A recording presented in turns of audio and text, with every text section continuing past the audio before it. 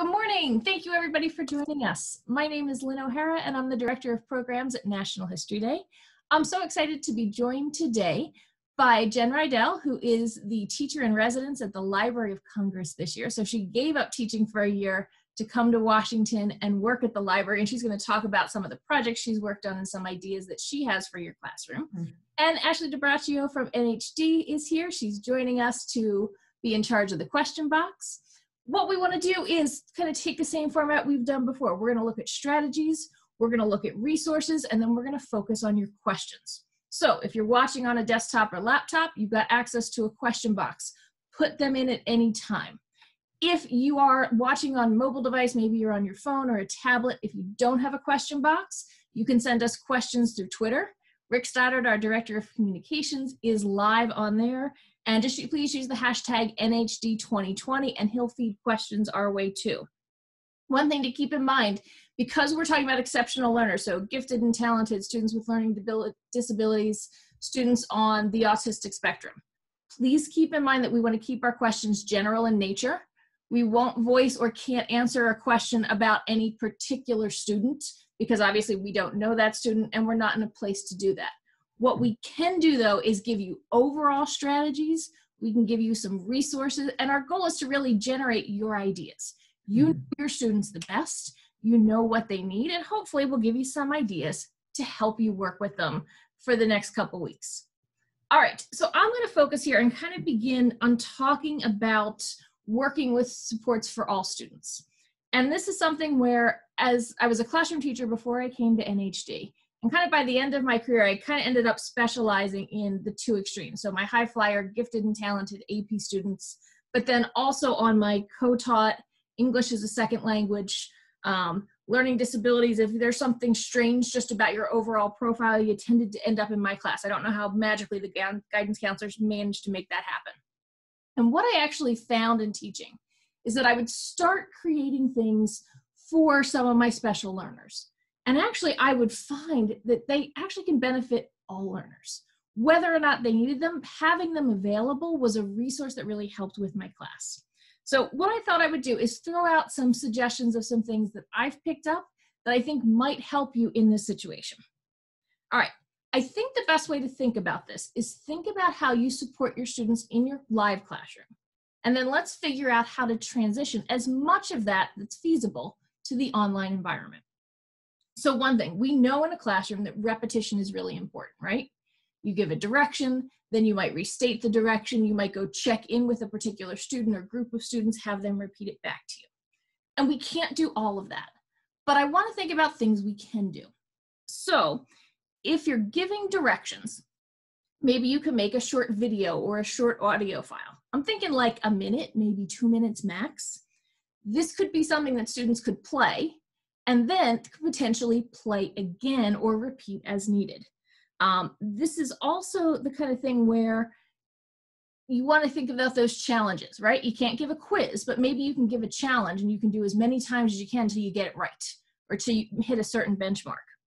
This is also a good thing because we're thinking about the idea of repetition. Think about old models, something that you use that has worked. Maybe it's a particular type of graphic organizer or a certain type of activity that your students responded well to. If you can take that and apply that organizer or that strategy to, a new content, that's going to help students because they're familiar with it. And you might even remind them like, hey, we did this back in February. Remember, put up a sample. Now we're going to take this and apply it to our new unit that we're looking at. I think it's important that if you're going to verbalize directions, you also give them in written form. That's going to be really important for your learners because they don't have the kind of reinforcements that you might have in your classroom, like the directions written on the board or projected onto the board. Um, I think when you're writing your instructions, take a minute and reread them. You know how in NHD projects, when we're helping students get under the word count and we help them tighten up their language, oftentimes they end up with something that's better written same deal here. If you can help simplify your directions, they're going to be much easier to follow. Think also about multiple formats. If you've got to provide a longer written piece for students to read, are there options on how they read it? So for example, is there an audio option? Um, if you're using something that other people use, check out YouTube. You might be surprised at what you can find there. Maybe you can record it. Maybe you can work with a colleague where you record one reading and they record another one. If you've got a college student who's home and has some time on their hands, maybe they can help you in creating that kind of a file because that would give your students the option.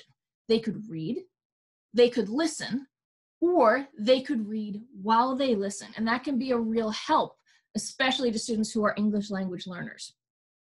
I think it's really important. If you're doing an activity that has a sequence, you've got to make the sequence clear. This is step one. Don't go on to step two till you finish step one. This is one, this is two, this is three. Make it even bigger and bolder than you would in a classroom. You know, a big giant blue letter can be really, really helpful. I think too, whenever you can give students choice, You've got to do something. We know you may not want to do it, but you got to do A, B, or C. Make them equivalent, but then the students feel like they have some kind of control. If you're working with students on the autism spectrum, couple things to keep in mind. Routines are really important to these students. You know that in the classroom. So anything you can do to create a routine that gets repeated either in the online environment, whether it's synchronous or asynchronous, that can be really helpful for those students. Uh, when you're doing something longer, provide breaks and provide direction. Like, hey, we're going to take a two minute break and everybody's going to stand up and stretch because we've been staring at this computer screen for 20 minutes straight now. Um, I think whatever you can give sensory breaks or little activities that students can do, I think that's also helpful. If you're working in an integrated classroom setting and you have students on the autistic spectrum and you're attempting any kind of breakout groups or group work, go check on that group early and often. You know, as a teacher, if you split into group work, you know when you set up those groups, which groups you're going to visit first or hang out near or lean over their desk. You know, all of those physical proximity cues that we use to help our students. Replicate that as much as you can online. Um, that's also if you are working with a paraeducator or a special educator, co-teacher, anything like that, if they can come in and they get assigned to go check in with that group first and then you can come in a little later. That can be really helpful. For our gifted and talented learners, they need pathways. They need things to explore. The basic assignments are going to get old for them pretty quickly. Um, one thing with these students, really watch their anxiety levels because oftentimes many of these students are getting into mindsets about, you know, this is going to ruin my chances. I'm never going to go to college. I'm never going to have a job. The world's coming to an end. And I think it's really important that we remind those students we are all in this boat together. Nobody planned this. Yes, this is the situation for you right now in Florida, but it's also the situation for the students in Maine and in California and in Montana and in Texas. We're all figuring it out, but at the end, it's going to be okay because we have the big end goals and we know as teachers, we can get you there when you're working with students who have case managers or special educators who work with them, do your best to keep them in the loop. That's really important because they will do their best to help you. Um, and a lot of times we have communication with these people in a very informal way, right? You might check in with them while you're on cafeteria duty. I know it's like the pit of all school duties is cafeteria duty, in my opinion. Um, you might also check in with them, you know, as you're walking down the hall or on the way to a faculty meeting. So you've got to kind of make that extra effort to send the text, shoot the email, make a phone call to say, hey, you know, I'm really struggling with this student. Can you give me a call this afternoon so we can strategize how best to work with them? When you're working with parents, proactive advanced communication is the key. Whenever it's possible and whenever it's appropriate, I would always encourage, especially with older learners, that you talk to the student and parent together. Make sure we're all on the same page. There's not three versions of the story floating around. Keep that special educator either copied on the email, invite them into the phone call or the conference call or the team meeting or Zoom meeting or any kind of electronic communication you might be having. Document supports. You can't always control whether a student takes a support, but you can document that a support has been offered. And I think that that is helpful. So if it's, hey, you know, we have a practice activity that gets you ready for the lesson. Did you try it? Oh, did you try it once? You know, I saw that you logged in, but you only logged in for five seconds and then you hit submit.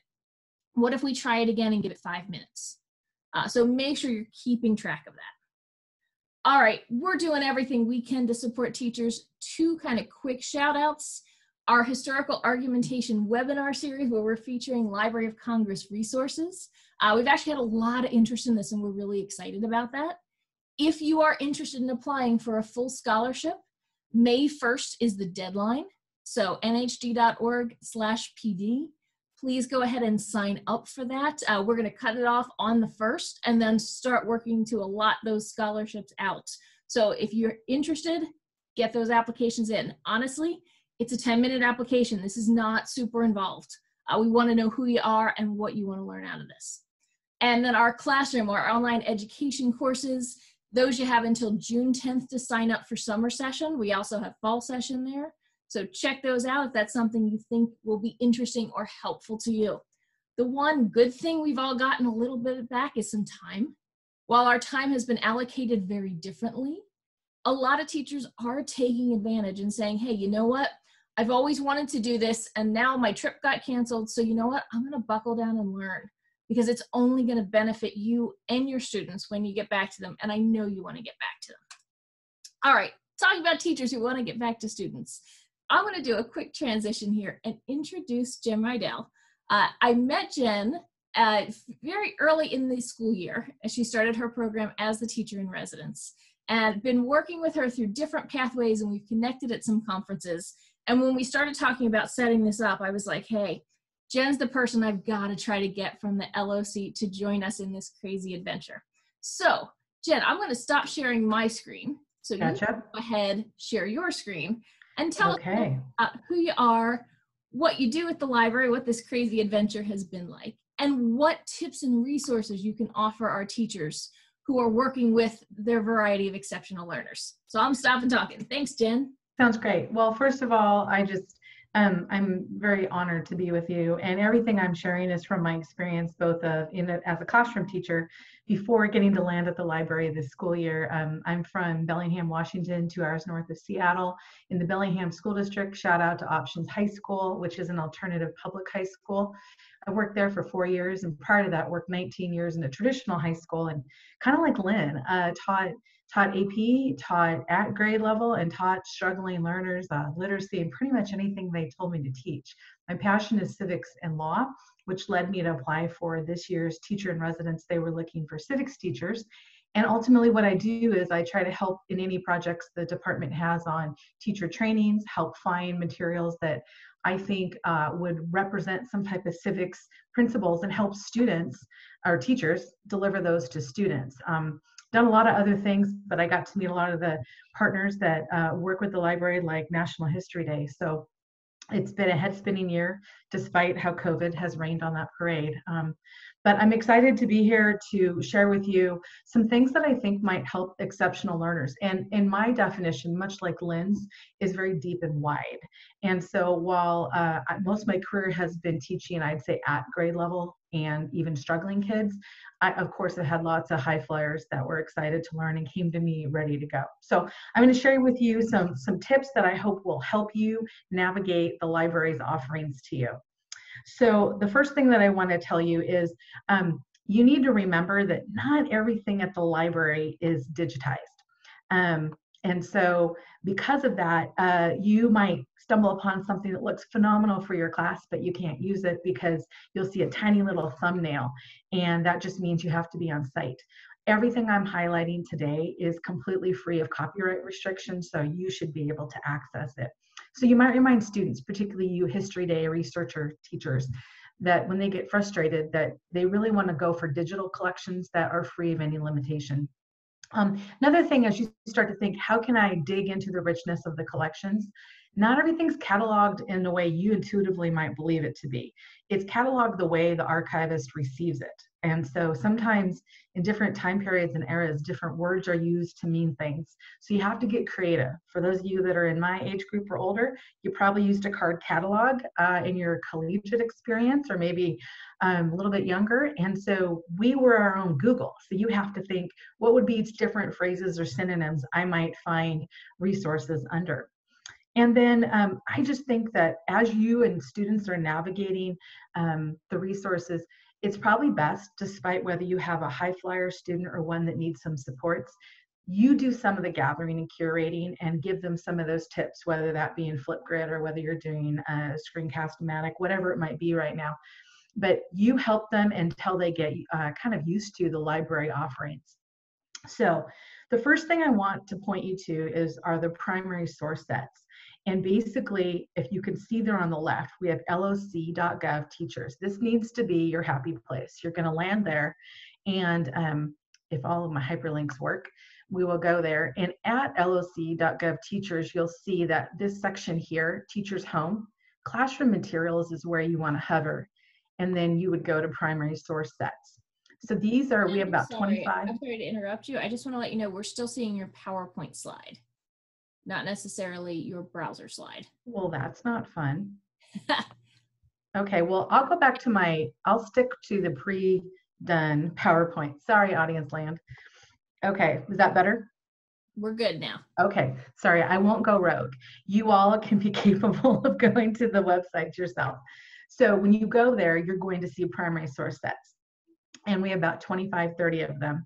And these sets cover uh, a variety of different types of topics and then formats within them. So I pulled up Japanese internment, American internment, and has about 18 different items in it. There's a teacher's guide you can see there, which I won't dare to click on because I want to stay on this slide. And that teacher's guide gives you some background. So this is a topic your students are not as familiar with. It'll give you some historical context. And then it also gives you some teaching ideas. And when I've gone through these teacher's guides now with the idea of asynchronous learning, they do have some good ideas that I think you can easily modify for independent work for students. So the teacher's guide can become your friend in terms of helping students access these. Um, and so when you go to these, you'll also see, so above we had seen there's the teacher's guide here. There's also the analysis tool guides. And some of you, and I have heard Lynn mention them before in her presentations, some of them of you have used these. And these are dedicated guides that would help you uh, and help your students analyze specific types of primary sources. So you can see here under the Japanese American internment, that first one is a naval dispatch. And that's actually the naval dispatch that says Pearl Harbor has been attacked. So you would want to help students figure out how do they analyze that. That looks like this, the primary source analysis tool. And when you go to that page, we have, this tool can be used uniformly with any type of primary source, maps, manuscripts, uh, photos, sheet music. And by the way, you need to check out sheet music because there's some crazy sheet music that identifies different uh, events and historical time periods. So you can go to these and the primary source analysis tool for teachers gives you, the teacher types, some specific questions to prompt students. And you might use those questions to have kids do independent analysis. I would imagine that if you took kids to, for independent work, these um, primary source sets, you might assign, you might say, depending on what teaching you pri- previously done, hey, choose three to four different primary sources. And I would like you to do a primary source analysis for each one of these. And depending on your student ability, for your students that can just jump into this, maybe you step it up and you say, I don't just want you to analyze photos. I want you to try to look at a manuscript, a photo, and maybe um, a map. So they have a variety of different primary sources to inform their understanding of the topic. So the next thing that I want us to think about is, and the some of you might know about the WPA slave narratives, and at the library, it's titled Born into Slavery. Um, this collection is phenomenal. And some of you who are familiar with it know it has limitations, but I actually think those limitations are teachable moments. And even in this asynchronous world, you can you can use these um, for particularly for students that are able and kind of ready to go. So I'd recommend that when you go to this uh, Born into Slavery into the site, there's information about the collection. So really recommend that you read that as the teacher type before you're giving students any instructions. The next thing I would suggest is I was able to uh, tap into Teaching Tolerance's uh, Teaching Hard History episode. I think it's at 11 when I checked it out. using the WPA slave narratives. Phenomenal information, tips of how to use them, how to use the silences in them, how to look at the language that the interviewee is is giving and the, the clues they're giving about uh, their experience as as, a, as an enslaved person. And so i think if you the team this could be a really powerful independent project for kids or maybe a couple kids working together. But if you do the due diligence ahead of time which i know you've got minimal bandwidth and you read about the collection listen to teaching tolerances tips and then you um, might even send kids to one of those primary source sets, specifically Jim Crow and uh, segregation. And that helps set the scene for what many of the individuals are speaking about in the narratives. And then finally, if you were to use these with students, um, I really recommend that you don't have the students choose the narrative, that maybe you do the, that selection. And, and once they and you are familiar with it, then after that fact, you might encourage them to investigate somebody else to learn about and their experiences. Um, something else a little bit lighter to think about how you could get kids um, that can kind of take their own initiative or even kids that need a little support. These are free to use and reuse resources and these free of any copyright. You're never going to find, in fact, you can make your gift cards from these if you'd like. There are a lot of fun topics and lighthearted um, topics, but there's also things like uh, World War One posters. There's a poster parade that I'm kind of a fan of right now that it highlights different um, kind of public service announcements and it tells you to brush your teeth or tells you to practice hygiene. But I wonder if you could use that poster parade and prompt students to look at it to kind of figure out what was going on in society that these were the public service announcement messages and then maybe encourage students to consider what type of public service uh, poster parade images might they create in this moment in time whether it be covid oriented whether it be encouraging a kind and a good society whatever it might be so I, I really encourage you to check those out again some a lot of light topics but also some serious ones that of civil rights and war that that we all teach um, some of you might have had the opportunity to learn about, and if you haven't, I'm excited to share it with you. Uh, the LOC has the By the People, which is a crowdsourced transcription project. And what they've done is created a pretty easy to use, if you spend, I'd say 15, 20 minutes as the educator, pretty easy to use platform to send students to of letting the students do the work of historians. So what they get to do is they go into the transcription projects, and you can see here, I have a screenshot of the Blackwells, which was a family dedicated to both suffrage and abolition of slavery. And you can go into all of those scanned digital images of the papers and the manuscripts. And then what you as the transcriber do is you can do the work of transcription, you can do the reviewing of what somebody else has done as that work is being transcribed. And the neat thing for students is once you get this set up, kids get to practice historical work. This isn't like they're doing this just to do something in class to fill the time. They're actually contributing to the power of the collections of the Library of Congress and really for posterity in American history.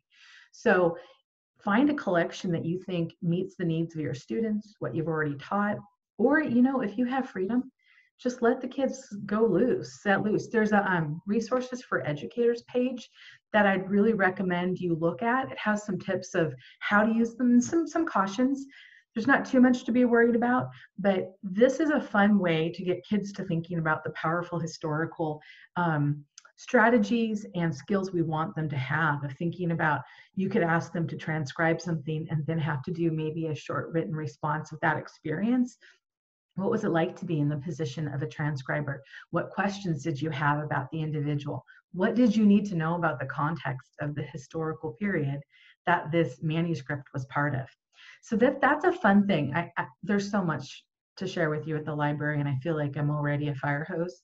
But I wanted to choose some things that I think that are relatively ready to go that with your knowledge and your understanding of your student needs you could you could give them access and hopefully have some engaging and powerful experiences if anything i've said has uh, really kind of lit a fire in you and but you're still not sure please please please email me you can see the emails there at jreidel at we do have a lot of other resources but i've highlighted some of the biggies i'd recommend you play with our blog That's also on that teacher's page. And if you choose to and you sign up twice a week, we uh, send out blogs highlighting primary sources and give you a few ideas of how you might use those with kids.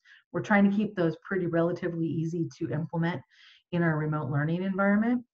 And then the last thing I'll mention before I turn back over to Lynn and company and hopefully get to interact with all of you is that we at the library, in addition to offering webinars about every two weeks on different topics, we did a civics one two weeks ago. We did one for science and civics and literacy and primary sources this week. We're doing weekly what we're calling online office hours. Basically, it's a demo of something we have we think might be helpful for educators. You drop in about 15, 20 minutes of a demo, and then the rest of the time is meant for questions. So really encourage you, all of it's free. And again, if you want to follow, we, we do a lot of promotion on Twitter at Teaching LC. So if you want to see what's coming up, and then if you want to follow me at Civics Girl on Twitter, I try to post a lot of things that the library offers. So I am going to share, stop my sharing and give it back to Lynn. Alrighty, well, thank you so much. I think these are cool sources. I will mention, I know a student in Iowa got very excited by the Women's Suffrage Project because cool. Carrie Chapman Catt is actually from Iowa. So she not only got involved in it, but it organized a whole huge group of students to do that as a service learning day project. That's, that's cool. Kind of a cool thing because you can get involved. It's community service and its history and it's also learning about the importance of the archives and the libraries and the ways that we protect our history over time mm-hmm. so all right we've thrown some ideas at you we've thrown some strategies at you but we know that you have questions. So what we have one quick note uh, there's a raise hand feature in zoom. We don't use that. Please don't raise your hand. Just go straight to the question box and ask your question. Otherwise you're going to be just standing there the whole time. And we don't want that. So, Ashley, do we have any questions in the queue of things that people would like to know about? Oh, Ashley, I'm sorry, you are muted. I am muted. Uh, I am waiting for one teacher to respond back to one of my questions. So check the chat box and make sure I haven't sent you a question to kind of develop that a little bit more. But also, I have one that just came through. Um, any ideas on using these fantastic resources for our ancient and world history teachers out there? How you can kind of utilize the Library of Congress when you're on that kind of the side of it. That, yeah, I guess, um, and, and full disclosure, I've really taught, when I've taught world history, it's probably been more contemporary world history.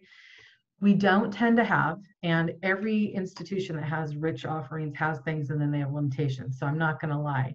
We don't have curated sets that would be world history so i'm sorry to say that. But what i do recommend is if you know particular events in world history that you're going to teach or a theme that likely possibly some primary sources have been cataloged under so any world war we're going to have things we have um, i didn't even highlight it we have chronicling america which mm-hmm. is our digitized newspaper um, database that chronicles from 1789 until 1963. And we also have librarians have done some curated sets within that. So there are world events that are in that. If you go to the teacher's blog and you look up, we have some on the, we have archive topics. I know uh, someone, my predecessor as a teacher in residence, he was a world history teacher and he did write blogs that I think he's done the work and you can dig into that. So I'm sorry I'm not giving you like a golden, here's 25 sources, but if you are struggling on finding something, please email me and I will work as best I can to try to help you. One thing too I've noticed is that sometimes, you know, trends in history tend to come back.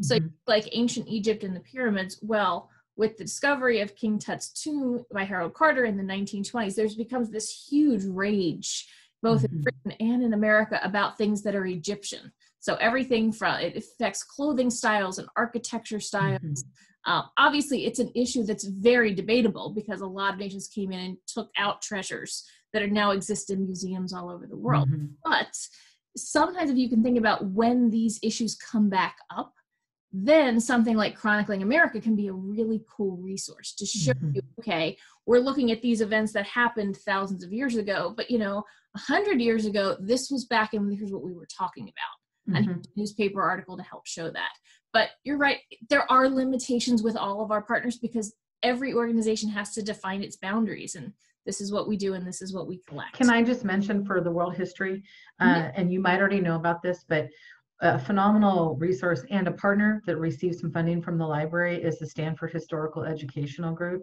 Mhm. And, and I'm sure whoever asked the question, knowing them, they probably know about this. But if you haven't checked into their world history lessons that are oriented around particular primary sources of events and concepts, I would get yourself in there and maybe use that as a starting point.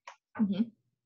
I highly recommend um, maps from the Library of Congress, um, especially if you're going ancient. They do have those available. They also have some digitized collections that are available centering around um, Americans who travel abroad. So if Mhm. you're looking for kind of their interpretations of Europe, those are available digitally in the Library of Congress. And um, anything that's that deals with world fairs or world expos, that um, because Americans do travel and do present on that, they will have those other uh, perspectives available in the Library of Congress archives as well.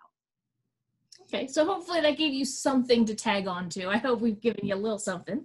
All right, Ashley, what else do we have? Who else is in the queue? All right.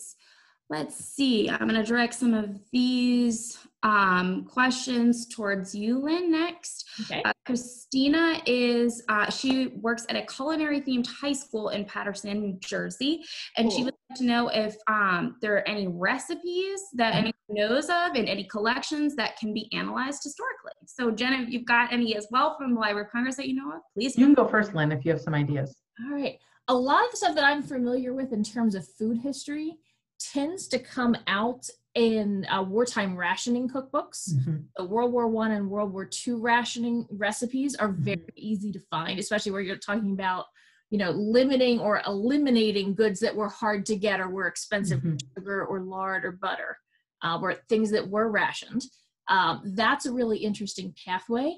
I would also check Chronicling America Mhm. of the kind of the style sections in newspapers. I think you could find some really interesting recipes kind of buried in there. Um, I also would say there's a lot of cool stuff. The Smithsonian has done some neat Mhm. it's based around cooking. They have Julia Child's Kitchen at the Museum of American History. So those will be places I would send you. Jen, what about other suggestions within the LOC universe? You know, I had seen uh, just that came through the staff. We get all these different blogs from different parts of the library, and the science, the business science and technology reading room, they had done a bunch of blogs on. It, it's kind of what you're talking about, Lynn. It's anchored with uh, Great Depression and how people had to modify cooking with scarce resources.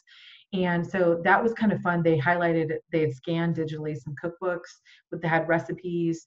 Um, actually, there's if you can go to the um, shall not be denied suffrage ex- exhibition online i'm pretty sure this is one of the scanned items there's a suffragette cookbook and it in between Cool. the, the did I not rec- that? yeah it has real recipes but it also has like a real snarky recipe of a real suffragette uh, gives a dash of wit to her husband and it has a list of all these little sarcastic one liners that i just i took a picture of because i loved it so I'd recommend that. I, I echo Lynn in Chronicling America.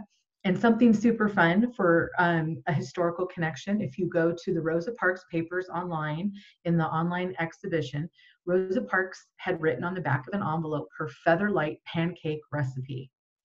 And you, it actually, many, many people in the library and schools have made her featherlight pancake recipe. It has peanut butter in it. So um, yeah, if you go to it, you'll find it. And I think that would be really fun as a nice uh, light entry point into Rosa Parks. And then, especially if it sounds like you're a project based learning school with interdisciplinary focus. So I would look at the science technology um, re- re- reading room, uh, Chronicling America, and then Rosa Parks paper for the pancake recipe. One thing that I've learned in kind of working with the library and our project over the last year is that the reading rooms look in different ones. Because some are, you know, it's obvious it's prints and photographs or it's maps, but some of the other ones, like the Folk Life Center or Science and Tech, actually has different collections of different items. Um, and so it's, I think it's helpful if you search in different collections in different reading rooms um, because you'll get very different results. And sometimes, you know, sometimes you do a search and it doesn't end up anywhere, but that's part of the research. That's part of And the maybe if I can add, I don't know about the rest of you in audience land, but before I arrived at the Library of Congress, I didn't even know what a reading room was. Okay, like there's so much I did not know. I still don't know a lot of things, but uh, a reading room is basically a physical room where they're they've grouped the, the materials at the library by a general topic. And then you have these resource librarians that are just amazing, phenomenal specialists in that. So if you're thinking, well, that's really fun, Jen, but I'm sitting on my couch in Nebraska. So what you can do is if you go to our website and you go to, we have a drop down menu for the reading rooms.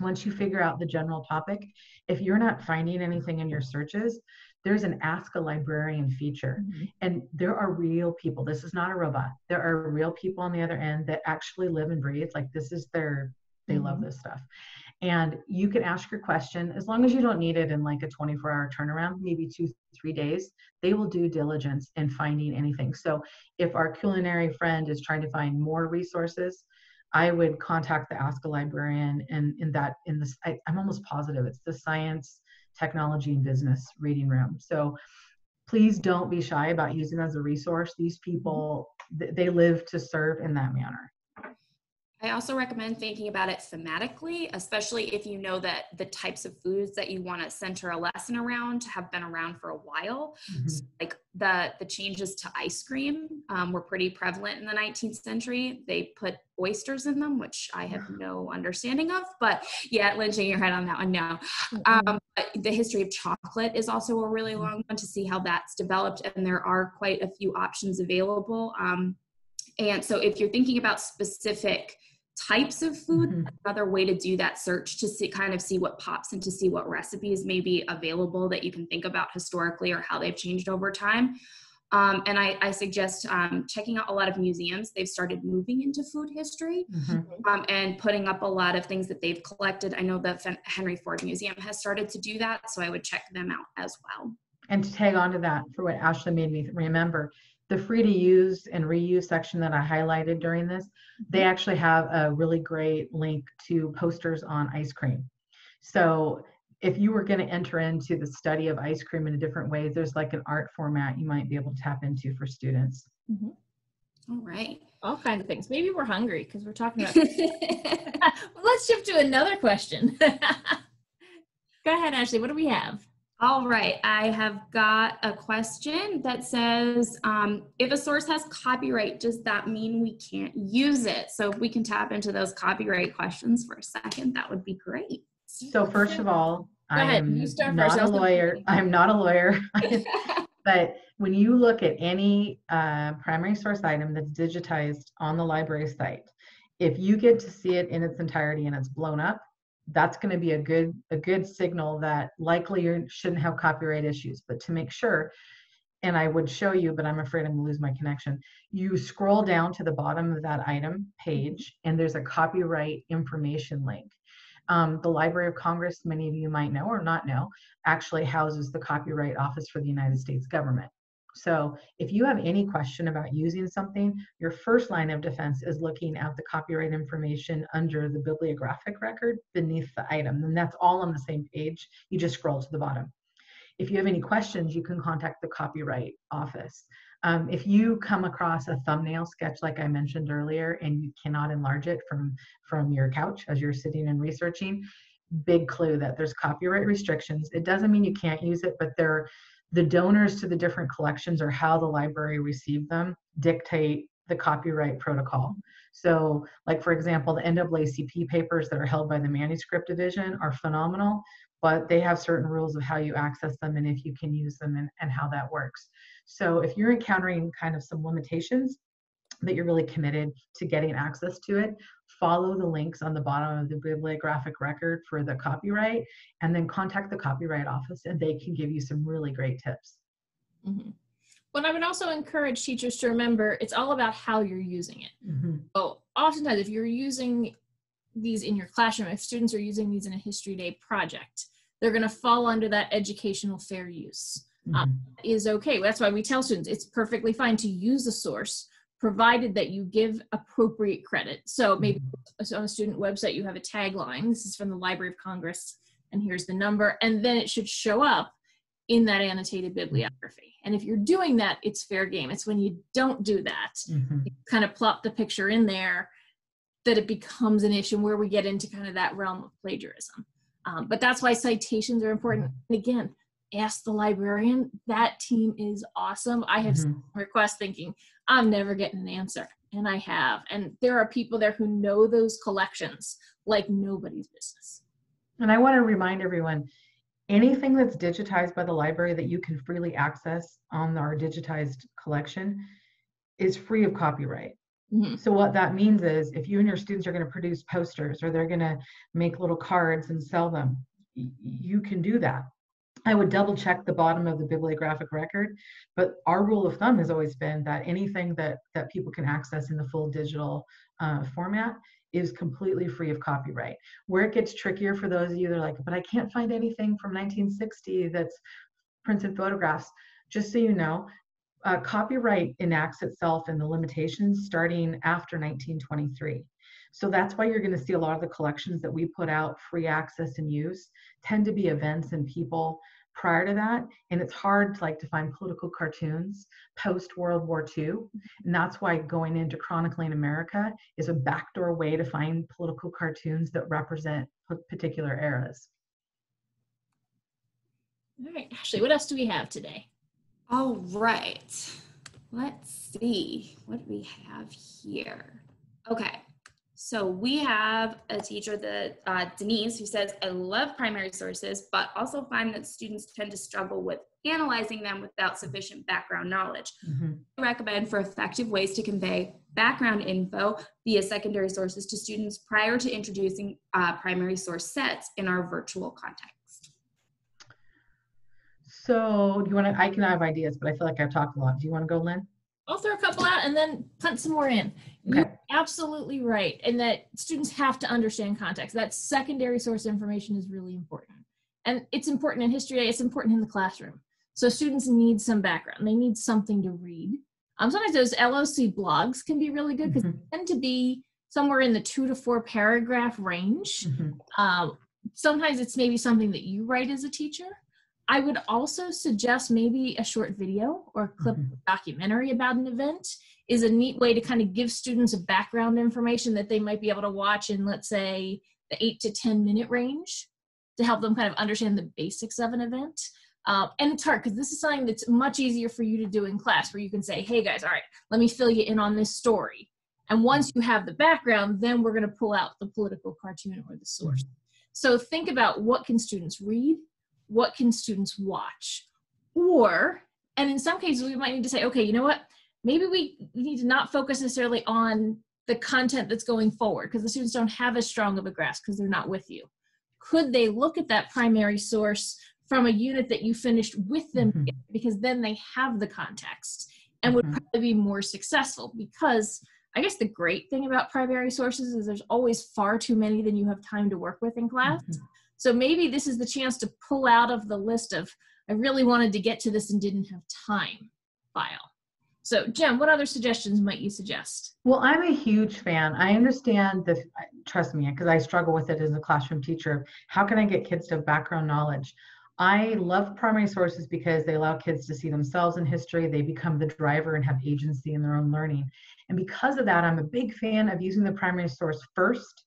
Now, I know in saying this, it's hard to do in an asynchronous environment, but exposing them to the primary source first, generating the questions, and then using those questions as an interest point back to the secondary source that gives gives them some bridge as to why they're reading something, a purpose for reading.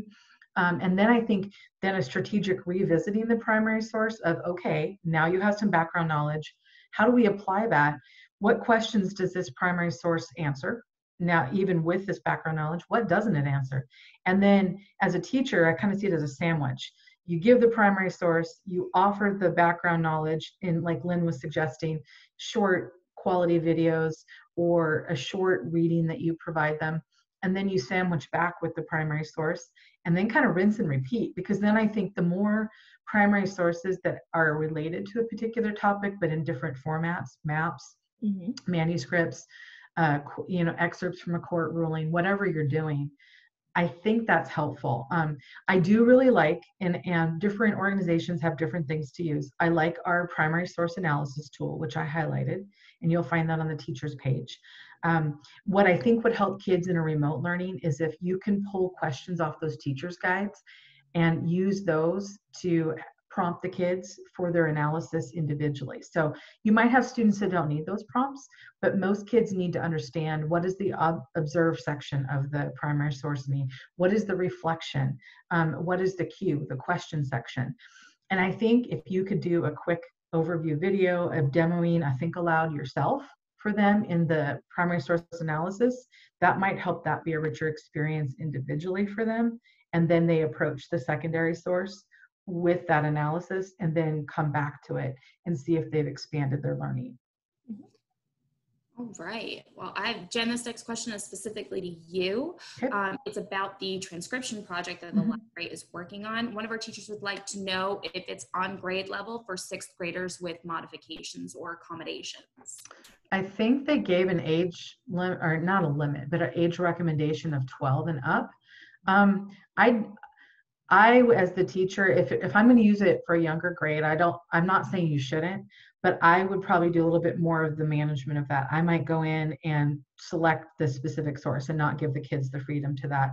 I think this is where background knowledge for a younger learner is going to be even more important uh, and giving them that depends on where the kid's reading level is at.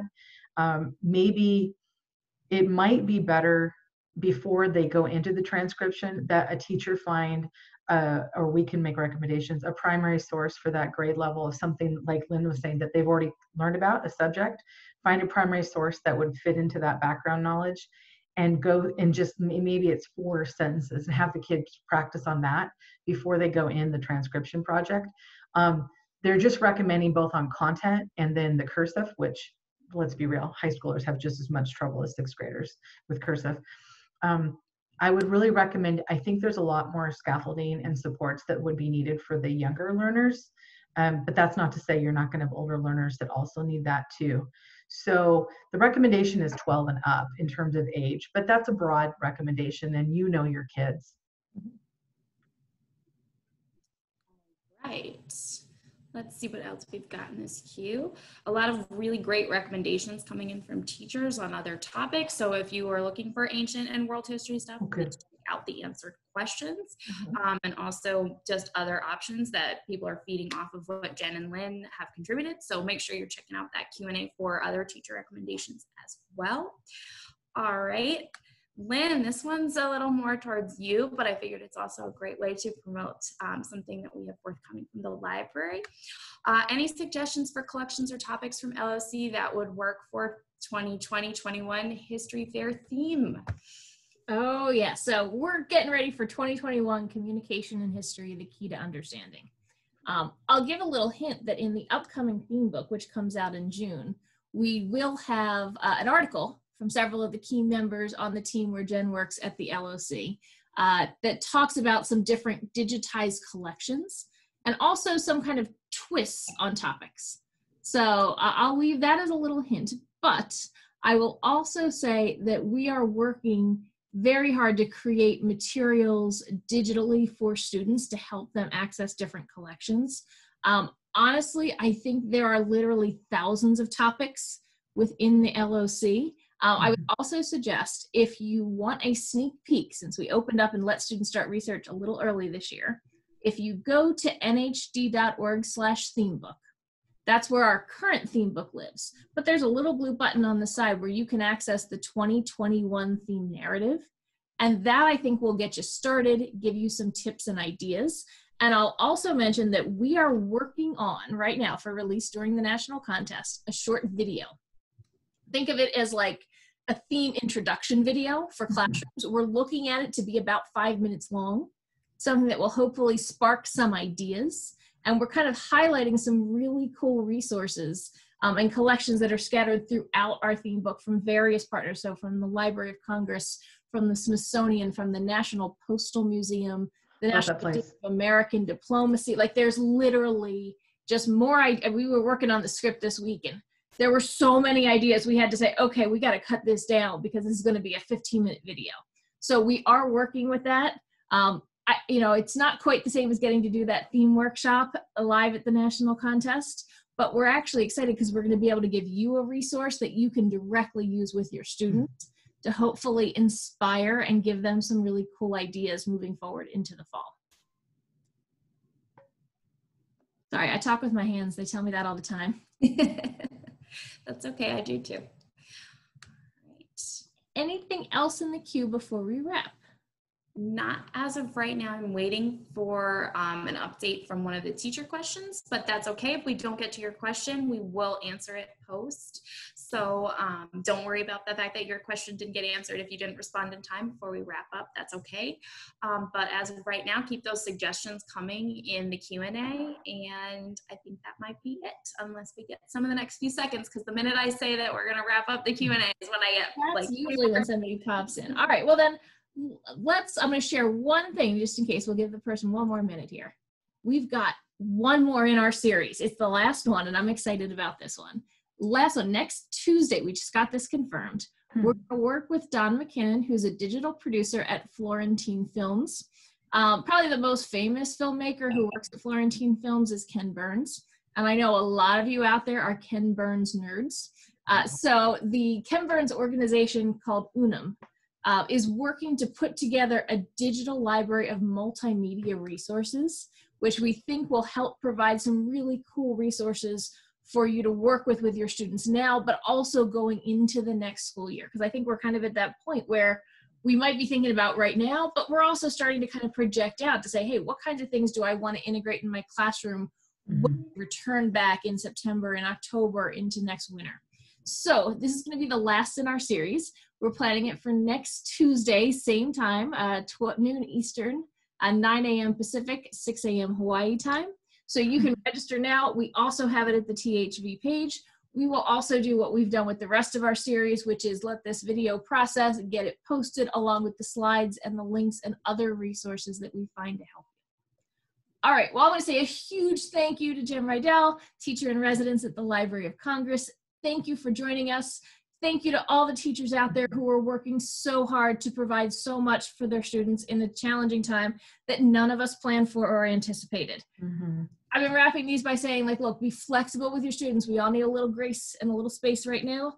Be kind to yourselves. Mhm. Um, you're doing the best that you can. You know that. Your students know that. Your students' parents know that. And my gosh, are they going to be happy to see you back in a classroom, same as you are? Take advantage of this time. Be open to learning. Be open to trying. If this is the, isn't the time to try something new, I don't know what is. All right, we're going to wrap at this point. Thank you so much, everybody, and have a wonderful day and a great weekend. Thank you. everyone.